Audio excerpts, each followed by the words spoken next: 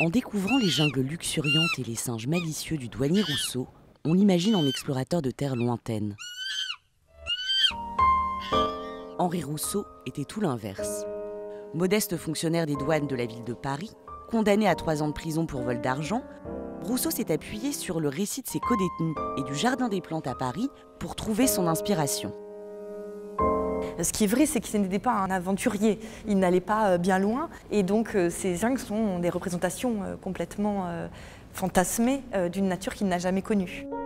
Dans cet autoportrait, voici Henri Rousseau tel qu'il se rêvait en 1889. Posant devant la tour Eiffel, la palette à la main, lui, l'autodidacte.